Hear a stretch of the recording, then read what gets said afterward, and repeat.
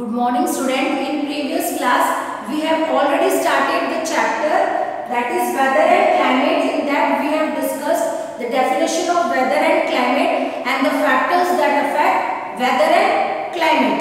तो उसमें से हमने कुछ टर्म्स पढ़े थे जिसमें से हमने स्टार्ट किया था अपना टर्म एटमोस्फेरिक प्रेशर उसी को हम कंटिन्यू करते हैं ठीक है एटमोस्फेरिक प्रेशर दैट इज़ जैसे कि बोला था मैंने the air which rest in the on the earth surface earth surface के पास जितने भी एयर होते हैं इट एक्सपांड्स ऑन हीटिंग जब वो बहुत ज़्यादा हीट होता है सरफेस तो उसके कारण उसके नज़दीक के जो एयर होते हैं, वो भी हीट होते हैं तो इट बिकम्स लाइट जब वो लाइट होता है तो क्या करेगा, वो ऊपर की तरफ़ आएँगे। ठीक है?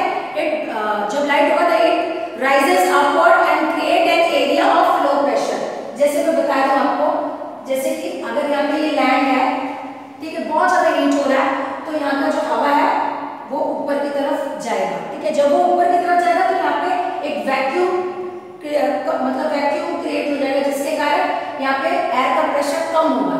इसलिए लो प्रेशर एरिया पे फॉर्म होगा। ठीक है?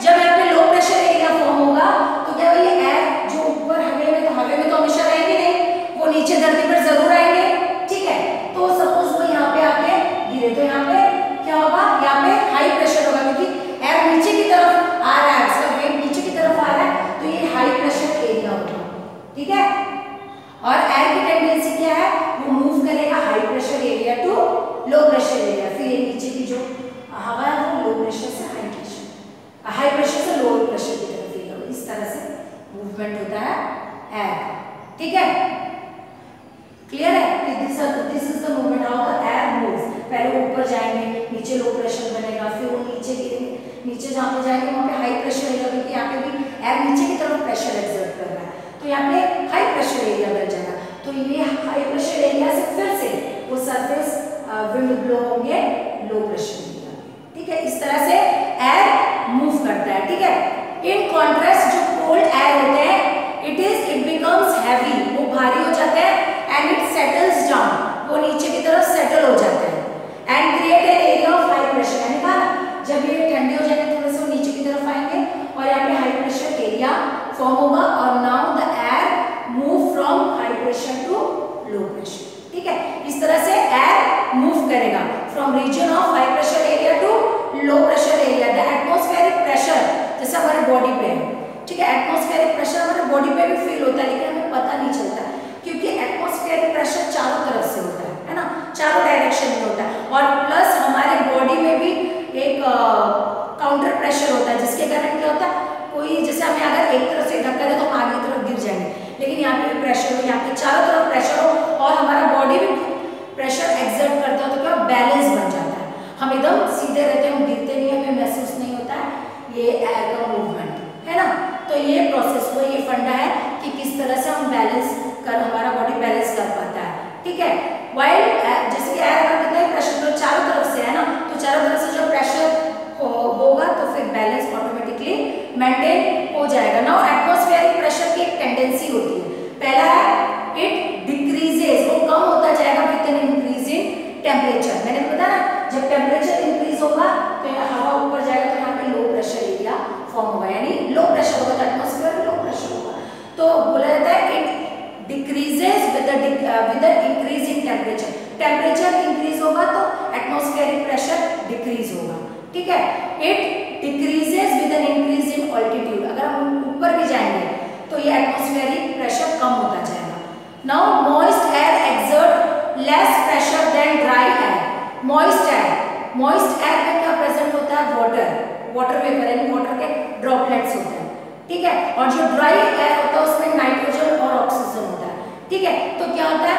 और ऑटोमेटिकली वाटर का जो वेट है है ना मास है, वो कम होता है नाइट्रोजन और ये ऑक्सीजन पे। इसीलिए कहा जाता है कि मॉइस्ट एयर जो होता है, उसमें जो एयर एक्सर्ट प्रेशर करता है, वो लेस होता है as compare to dry air और फोर्थ फीचर जो उसका है earth rotation modified its distribution air pressure depend होता है रोटेशन देखो सपोज़ ये, मैंने कहा ना जो एयर हल्की हो जाती है, ऊपर जाती है, ठीक है? सपोज़ यही से देखो, यहाँ पे सबसे ज़्यादा हीट होगा तो यहाँ से क्या होगा? एयर के जो मास एयर जो है ऊपर की तरफ़ उठेंगे. अब जो ऊपर की तरफ़ उठेंगे तो एयर भी तो ये धरती तो मूव करती है तो वो कहीं ना कहीं यहाँ पे सरसा गिरेंगे नीचे.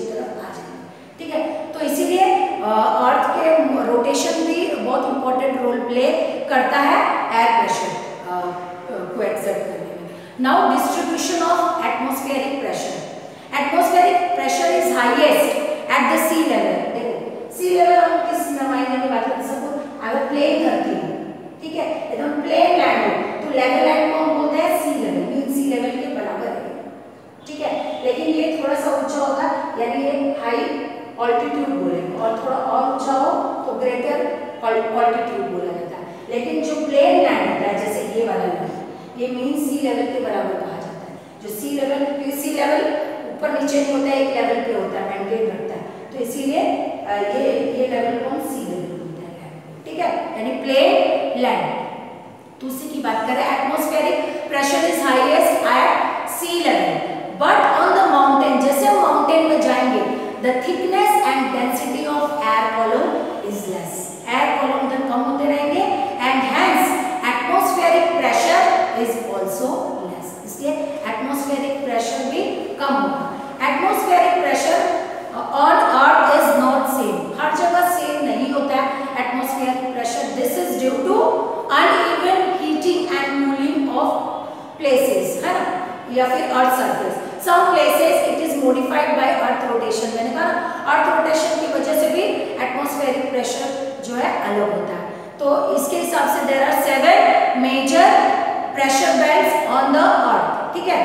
आप अपने बुक में यू कैन फाइंड आप अपने टेक्स्ट बुक में एक बार देखिएगा you can find this major pressure belts वो पूरे मैप के थ्रू बताया गया है. Now talking about the wind wind का मतलब होता है एयर दैट ब्लोज ठीक है? एयर जो ब्लो होता है. ठीक है? ऐसे जो एयर जो ब्लो होता है दैट इज़ ये हॉरिजॉन्टली जो ब्लो होता है it is known as wind और जब वो वर्टिकली ब्लो होता है it is known as air pressure जब वो हॉरिजॉन्टली ब्लो होता है इट इज़ कॉल्ड विंड और जब वो हॉरिजॉन्टली ब्लो होता है तो आपसे क्या बोलते हैं? एयर प्रेशर ठीक है? तो ये डिफरेंस हो गया विंड और air pressure now wind is named after the direction from where it blows जिस डायरेक्शन में वो ब्लो होता है, उसी डायरेक्शन में उस विंड का नाम भी रखा गया if the wind blows from western side it is known as west wind due to earth rotation wind is deflected earth के रोटेशन की वजह से विंड डिफ्लेक्ट होता है towards the right in northern hemisphere and towards the left in southern hemisphere अब जैसे अर्थ uh, है ना? तो जो यहाँ से सपोज़ हवा बह रही है ठीक है? अब वो पोल के पास सॉरी जब वो इक्वेटर के पास आती है तो वो डिफ्लेक्ट हो जाती है due to rotation of the earth और राइट साइड में चली जाती है और उसी चीज़ जब वो एयर यहाँ से जाती है लेफ़्ट साउथ से निकलती है ठीक है तो वो लेफ़्ट साइड में डाइवर्ट हो जाती है ठीक है? Due to rotation of earth ये सब होता है क्योंकि रोटेशन ऑफ़ अर्थ अर्थ के मूवमेंट के वजह से, ठीक है? It happens now if there is quick change in air pressure atmospheric pressure में अगर जल्दी जल्दी चेंज होता है तो क्या होता है? द स्ट्रेंथ ऑफ़ विंड जो है, वो भी ज़्यादा होता है, ठीक है? ज़्यादा विंड जो है ज़्यादा फास्ट ब्लो होता है। अब sir Francis Beaufort devised 13 level scale to represent the strength of wind wind को इसके स्ट्रेंथ को शो करने के लिए इन्होंने 13 स्केल शो किया आप देख सकते हो अपने बुक में। काम विंड से लेकर यूनिकेन्स तक, कि किस तरह से पता चलेगा स्केल पर। ठीक है, ये अलग अलग थर्टीन स्केल शो किया गया it is known as sir Francis Beaufort device ठीक है?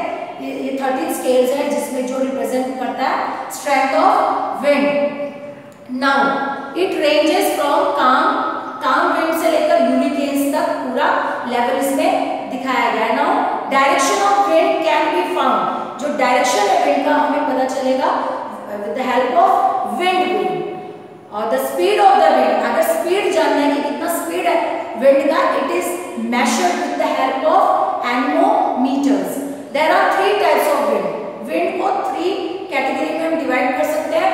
Planetary winds periodic winds and local wind now talking about the planetary winds some winds blows continuously कुछ जो विंड्स है वो continuously throughout the year blow होते रहते हैं ठीक है और उसको अलग अलग नाम से जाना जाना जाता है प्लानिटरी विंड्स भी कहा जाता है प्रिवेलिंग विंड्स भी कहा जाता है और परमानेंट विंड्स भी कहा जाता है।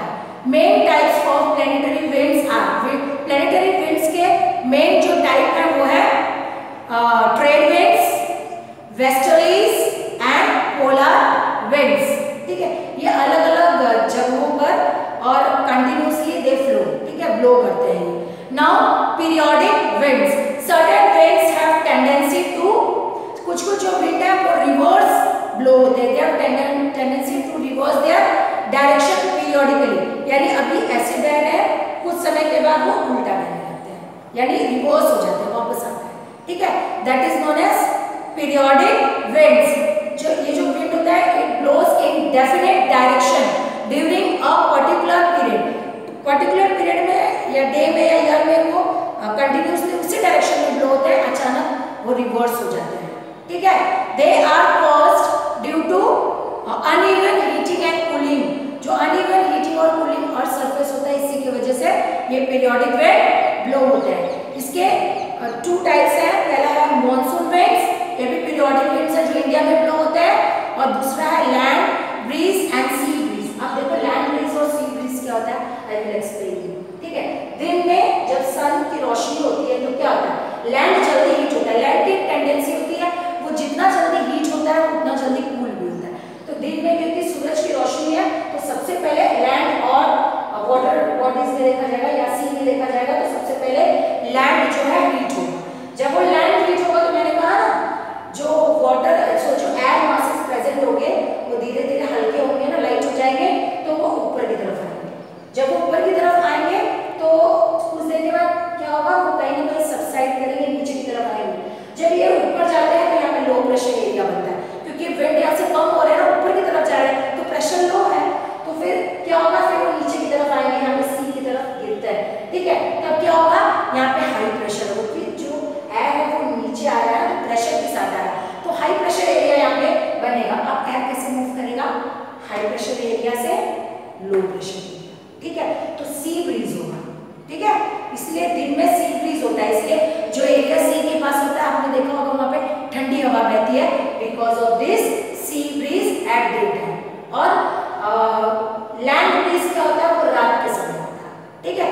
अब रात के समय क्या होता है? जब सन नहीं है तो लैंड तो गर्म हो चुकी है उतनी जल्दी रहने का वो कूल भी हो जाएगी कूल हो जाती है और जो सी होता है वो जितना टाइम लगाता है हीट होने में उतना ही टाइम लगाता है कूल होने में तो ये अभी हीट होगा एज कंपेयर टू लैंड इसमें हीट ज़्यादा है तो ज़्यादा हीट होगी तो क्या होगा लैंड मास एयर मासेस भी हीट होंगे तो हीट होंगे तो ये ऊपर की तरफ़ जाएँगे तो अब सी के पास हो जाएगा लो प्रेशर ठीक है अब वो एयर मासेस ऊपर जाएँगे फिर उसके बाद यहाँ पे आके वो लैंड पे सबसाइड करेंगे तो लैंड पे जब नीचे आते हैं तो यहाँ पे हाई प्रेशर एरिया होगा अब एयर मूव करेगा high pressure area to low pressure area तो रात में लैंड ब्रीज होता है और दिन में सी ब्रीज होता है। रीजन मैंने एक्सप्लेन कर दिया है कैसे।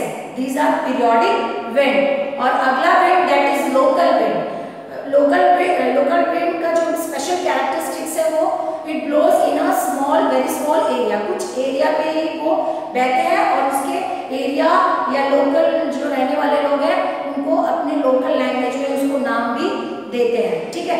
Some of this local winds हैं, उसमें से एक है लू, ठीक है, जो नॉर्थ इंडियंस में ज़्यादा नॉर्थ इंडिया में ज़्यादा बहता है फॉइन एंड हरमत्तन ठीक है? ये अलग अलग लोकल विंड्स हैं जो अलग अलग एरिया में अलग अलग नेम से जाने जाते हैं, ठीक है?